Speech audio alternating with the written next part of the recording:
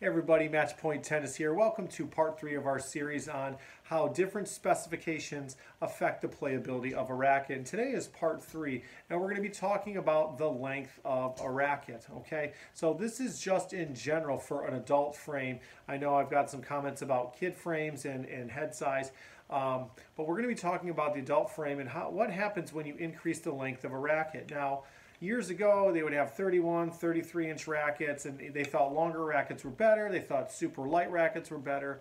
But a racket today according to the USTA can be at maximum 29 inches in length and 12 and a half inches in width so what happens as you increase the length of a racket now most rackets today are 27 and 27 and a half inches long okay for adult frames. You don't see them go 26 and a half or 26. Then you get into like junior performance rackets. Now, most of the time, like I said, we, we see 27 and 27 and a half inch rackets. Now, what happens as the racket length increases to power? Well, the power is going to increase because you have this lever, this lever, and believe it or not, you have the same lever and the same swing speed. That same swing speed actually increases the head speed with a longer racket. When the racket, the head speed increases, you get more power. And that's also the same for spin. Because you're increasing the racket head speed, you're going to be able to put more spin on the ball. It doesn't generate spin for you. You already have to be able to have that top spin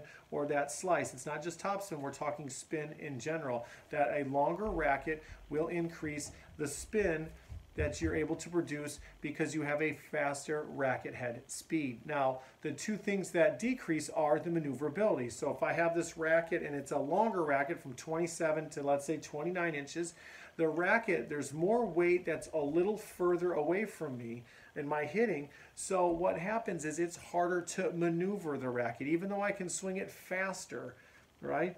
It's harder to maneuver because there's more weight away from my lever, my hand. So it makes it harder to control. Imagine, you know, if you have a, like a short fishing pole or a really long fishing pole trying to control it, right? And the last thing that decreases um, here is uh, the shock. So that, that vibration, I always call that dampener. And how, why does it do that? Well, because the when you hit the, the, the ball and it sends that vibration down, if it's a longer frame, the vibration has further to go down the handle to get to your hand. So the shock is also decreasing. So when you think about buying a new racket and you want to talk about length of a racket, what does it do as the length of the racket increases? Now you know. You know that the power is going to increase. You know that your spin is going to increase. And now you know that the maneuverability and the shock is going to decrease. So this is Coach Nick from Match Point Tennis. We'll see you for part four and the swing weight.